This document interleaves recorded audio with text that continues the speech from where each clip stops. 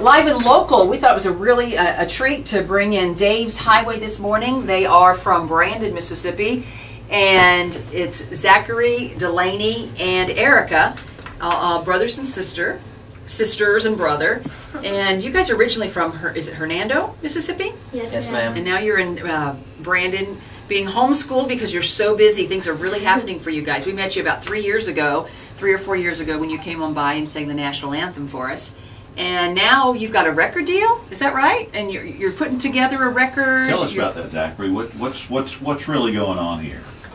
Well, I don't know if you'd say we have a record deal, but uh, we recorded a CD in Nashville.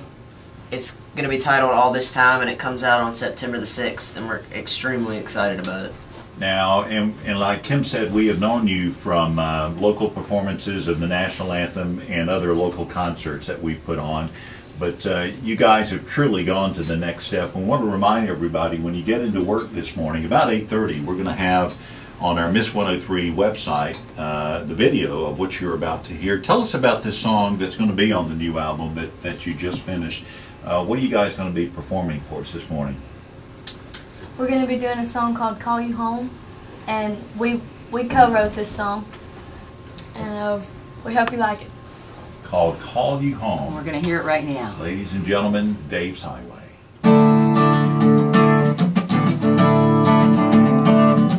It's like I'm moving, but I'm standing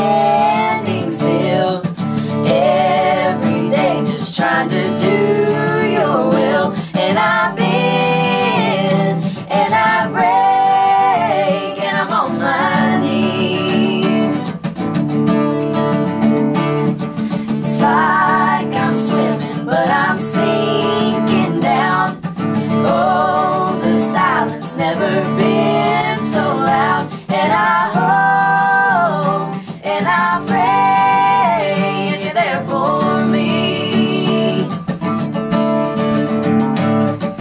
There's no distance left to fall up against the wall.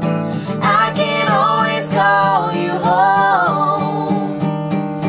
Even when I feel this small, got no strength at all, I can always call you home.